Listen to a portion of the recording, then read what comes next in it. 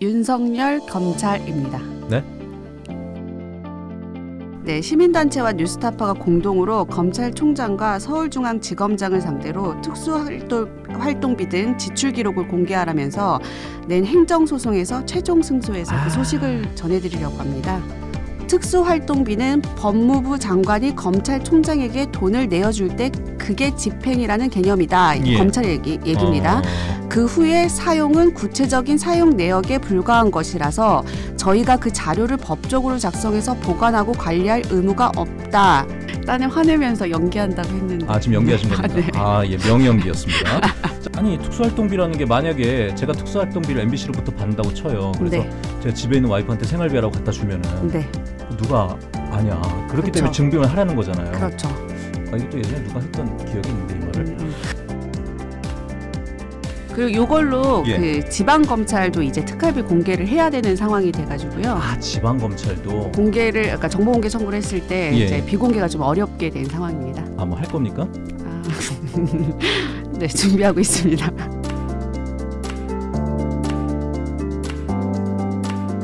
예, 키워드 뉴스 시간 오늘은 제주투데이의 박소희 기자와 이 시간 함께하도록 하죠. 박 기자님 안녕하세요. 네 안녕하세요. 예. 자 바로 첫 번째 오늘의 키워드 살펴봅니다. 윤석열 검찰입니다. 네? 어, 윤석열 검찰입니다. 예. 네. 또 MBC 와서 그분을 얘기하시는군요. 알겠습니다. 근데 뭐 어떤 내용으로 얘기하실 건가요? 네, 시민단체와 뉴스타파가 공동으로 검찰총장과 서울중앙지검장을 상대로 특수활동비 등 지출 기록을 공개하라면서 낸 행정소송에서 최종 승소해서 아. 그 소식을 전해드리려고 합니다. 이게 저 2019년부터 진행된 행정소송이잖아요. 네. 무려 1243일 만에 최종 승소했다 이런 기사를 제가 봤습니다만은 네네.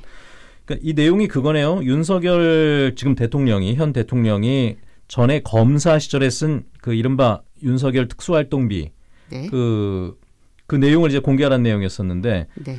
판결에 따라서 6월 23일에 공개가 된다는 내용인 거죠. 네네. 그 음. 정보 공개 청구 당시에는 예. 어, 검사였던 윤석열 대통령이 소송이 진행되는 동- 동안 대한민국 최고 권력이 되지 않았습니까? 그래서 관심이 더 뜨거운 것 같습니다. 아, 동의가 안 되는 부분은 대한민국의 최고 권력은 시민이라고 아, 되었습니다. 예. 마- 맞습니다. 두 번째 아. 대통령이니까 알겠습니다. 네네.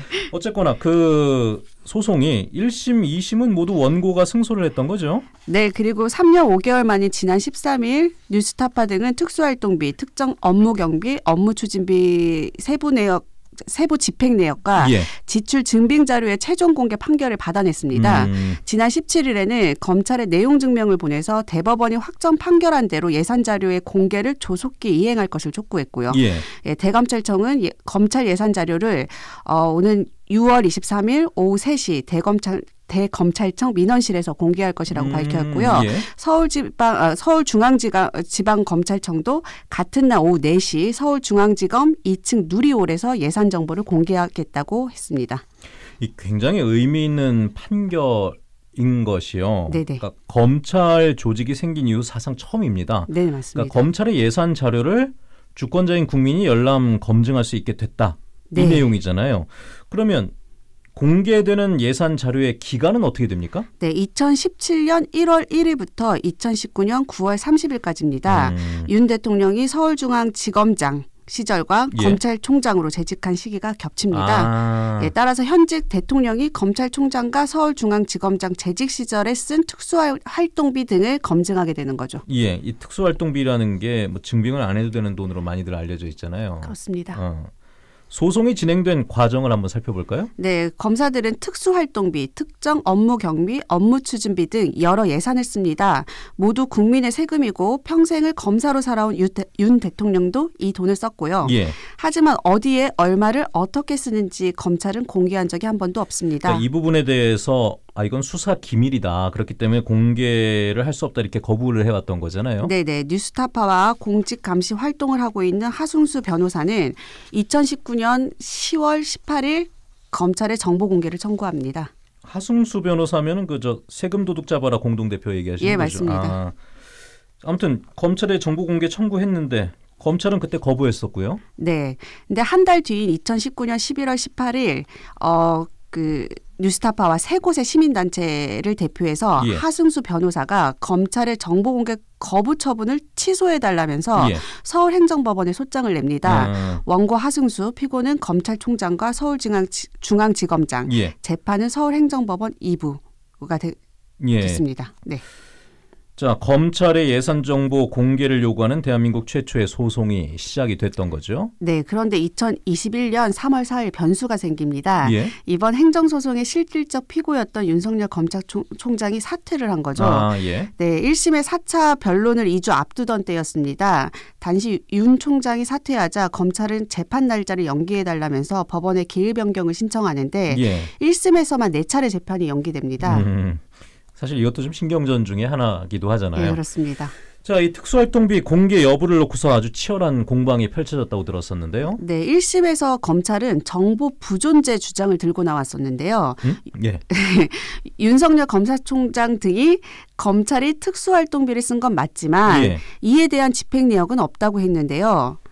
특수활동비는 법무부 장관이 검찰총장에게 돈을 내어줄 때 그게 집행이라는 개념이다. 예. 검찰 얘기, 얘기입니다. 어, 그 후에 사용은 구체적인 사용 내역에 불과한 것이라서 저희가 그 자료를 법적으로 작성해서 보관하고 관리할 의무가 없다. 이렇게 변론을 했는데요. 예. 윤석모 아나운서는 이게 무슨 말인지 알겠습니까? 뭐 한국어로 얘기하셨으니까 이해는 됐는데. 네, 그러니까 법무부 장관이 검찰총장에게 돈을 내어주면 이제 그게 집행이니까 네네. 그 나머지에 대해서는 안 줄게요라고 얘기를 한 거 아닙니까 지금? 그러니까 하, 아까 하 변호사 등이 요구하고 있는 정보는 특수활동비의 집행 내역이었습니다. 그러니까 구체적으로 뭐 어디에 썼는지. 네네. 그런데 검찰이 갖고 있는 자료는 특수활동비의 사용, 사용 내역이라는 겁니다. 아, 아, 예, 단어가 다르네요. 네. 그래서 집행 내역은 검찰이 없기 때문에 예. 공개하고 싶어도 할 수 없다 이게 주장이었습니다. 이 단어는 다른데 네. 그러니까 우리는 뭐 그 어디 가서 만약에 법인 카드로 카드를 써서 네. 밥을 먹었 다. 그럼 누구랑 얼마치 먹었어요. 이걸 영수증으로 증빙을 해야 되는데 네. 그 내용 없다는 거잖아요, 지금. 그러니까 용돈을 받으면 그때 집행이라는 거죠. 사용할 때가 집행이 아니고. 아, 엄마가 돈 줬을 때 집행이다. 네 네네. 어. 그러면 검찰 측이 얘기했던 이 정보 부존재 네네. 없다는 거잖아요. 네네. 이 주장을 만약에 원고 측이 깨고 싶다면은 네. 그러니까 특수활동비 정보의 존재를 입증해야 되는 상황이 돼버렸다. 그러, 그렇죠. 어려운 어. 상황이 이제 펼쳐진 거죠. 예, 예. 그래서 1심 재판부는 특수활동비 예산 자료의 제출을 명령은 합니다. 아, 예. 그러나 검찰은 정부의 부존재 주장을 고수하면서 1심 재판이 끝날 때까지 특활비 관련 자료를 재판부에 제출하지 않습니다. 음. 또 업무 추진비, 특정 업무 경비 관련 자료도 1심 재판장의 자료 제출 명령 1년 2개월 만에야 무성의하게 제출했다고 합니다. 예, 예. 당시 검찰의 태도에 재판장도 불편한 심기를 내비쳤는데요. 예. 이제 들어보시죠. 2019년 9월 9일 1심 4차 변론 당시 재판장과 검찰청 대화입니다. 1심 재판장은 지금 자료 취합에 시간이 소요된다고 하신 게 벌써 1년 전이거든요. 그러면 전체 자료 600건 중에 그냥 두 건을 무작위로 가지고 오셨다는 거네요. 하자 검찰청 소속 수행자가 예. 저희가 600건에 있는 업무 추진비하고 특수 업무 경비 관련 자료를 다 뽑는 건 사실상 거의 불가능이라고 볼 수 있습니다. 이렇게 대답을 합니다. 음. 그러자 1심 재판장이 지금 이거 두 건을 제출하시는 것도 이 중에서 이 사건의 정보에 해당하는 된 거, 되는 것만 제출하셔야죠. 그 전체를 그 전체를 제출하시면 판사가 알아서 찾아보라고 이렇게 하시는 게 아니라 예. 이렇게 대답을 아, 했습니다. 그러니까 제출하지 아, 아, 제출하고 싶지 않은데 제출을 해야 되니까 너무 무성의하게 제출해서 알아보기도 힘들게 만든 거 아니냐라고 재판장이 지금 약간 건조하게 얘기하셨지만은 네. 화낸 거군요. 네, 네, 네. 어, 어, 저 딴에 화내면서 연기한다고 했는데. 아 지금 연기하신 네. 겁니까? 아, 네. 아, 예, 명연기였습니다. 자, 어쨌거나 네. 그래서 2년 2개월 만에 1심에서 원고가 승소를 했죠. 네, 1심 재판부는 일부 개인정보만을 제외하고 특활비, 특정 업무 경비, 업무 추진비의 세부 집행 내역 은 물론이고 지출 증빙 자료 등을 공개하라고 판결했습니다. 그러니까 신용카드 영수증 같은 거. 네네네네. 예, 예. 아, 그래서 판결문을 보시면 검찰의 특수활동비 정보 부존재 개변을 이렇게 일축합니다. 피고들 피고들이 특수활동비에 관한 집행 정보 및 지출 증빙 저- 어, 서류를 보유 관리하고 있을 상당한 개연성이 인정된다. 예. 따라서 피고들이 본안전 항변은 이유 없다. 아, 예. 재판부는 검찰의 논리에 대해서는 부정을 했군요. 네. 그렇죠. 사실 특수활동비 아니 특수활동비라는 게 만약에 제가 특수활동비를 MBC로부터 받는다고 쳐요. 그래서 네. 제가 집에 있는 와이프한테 생활비라고 갖다 주면은 네, 그 누가 아냐 그렇기 그렇죠. 때문에 증빙을 하라는 거잖아요. 그렇죠. 아 이것도 예전에 누가 했던 기억이 있는데 이 말을 음, 음. 어쨌거나 수사 기밀이라서 비공개할 수밖에 없다라는 검찰의 논리는 이 네. 1심에서 무너지게 된 건데 네. 검찰이 이거 인정하지는 않았잖아요. 네, 순순히 받아들 받아들일 리가 없죠. 그래서 문재인 정부의 박범계 장관이 예. 검찰에 항소주의를 합니다. 어. 이제 법무부는 국가가 당사자거나 혹은 참가인인 행정소송에서 정부기관 등을 지휘할 걸 권한을 갖기 때문인데요. 이 2심 재판 시작을 약 두 달 앞두고 다시 최대 변수가 생깁니다. 이거는 제가 기억이 납니다. 그러니까 이때가 네. 어, 윤석열 대선 후보 당시 후보가 대통령으로 당선이 된 거잖아요. 당선인 신분이 된 거잖아요. 네, 맞습니다. 어, 그러니까 검찰로서는 아 이거 한번 시간 좀 더 끌어볼까라는 혹은 네네. 이제 안 해도 되지 않을까라는 생각을 갖게 된 그 시점이 아닐까 생각도 에, 드는데 에, 그렇죠. 그래서 검찰 시간 끄기가 이제 계속됐죠. 어. 이 무렵 검찰의 직접 수사권 폐지 법안에 저항하며 김수원 검찰총장이 또 김호수 사퇴를 했는 아 예, 김, 기- 예, 김호수 예. 검찰총장이 사퇴를 했는데 예. 이를 비밀로 검찰은 재판을 두 차례 미뤄달라고 합니다. 어. 그러나 재판부가 두 번째 기일 변경 신청을 받아들이지 않아요. 아. 그래서 1심 판결이 나온 이후 2개월 6개월 만에 예. 제 2심 재판이 시작됩니다. 그러면 2심에서도 검찰이 주장을 했던 건 아까 얘기했던 정보의 부존재, 그러니까 정보 자체가 없다라는 얘기인가요? 아니요, 새로운 궤변을 만들어냅니다. 아 잠깐 새로운 논리라고 하죠. 일단. 예, 예, 예. 네. 논리. 새로운, 새로운 논리를 이제 예, 예. 개발하는데요. 특수활동비 자료가 없다 대신 예산 자료 정리가 힘들어서 공, 정보 공개를 할 수 없다로 바꿉니다. 그래서 하승주 아. 변호사는 검찰이란 조직이 국민을 얼마나 우습게 보는지 엿볼 예. 수 있는 변론이라고 응수를 했고요. 아 예산 자료 정리가 힘들어서 정보를 공개할 수 없다라고 얘기를 했었습니까? 네. 일반 회사에서는 만약에 감사 받을 때 이런 식의 논리를 펴면은 바로 네. 해직 사유가 될 것 같기도 한데 징계 사유가 네, 네. 그 검찰에서는 지금 이런 주장을 했었군요. 아니면 뭐 자료 자체가 너무 방대하기 때문에 좀 실제로 힘들었거나 그건 잘 모르겠습니다만은 네. 그러니까 2심 때는 일단 제가 알기로는 특수활동비를 포함해서 예산 관련 자료를 제출하긴 한 걸로 알고 있습니다만 네. 아, 니었나요 네, 네. 했죠.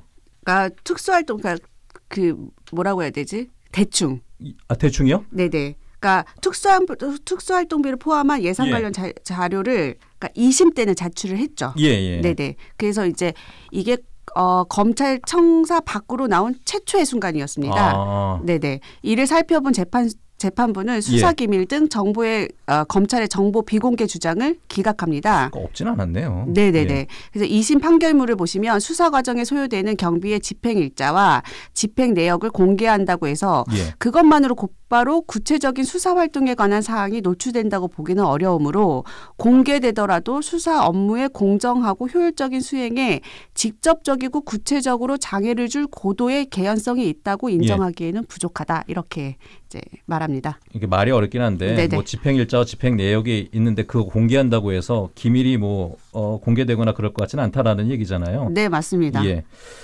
그러니까 수사 자. 기밀은 아니라는 거죠. 그렇죠. 네. 검찰은 2심 판결에도 불복을 했습니다. 네네. 대법원에 이제 상고를 했는데 네.